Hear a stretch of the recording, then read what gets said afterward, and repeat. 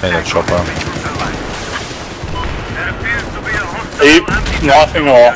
Yeah. Yeah. See that? Yeah.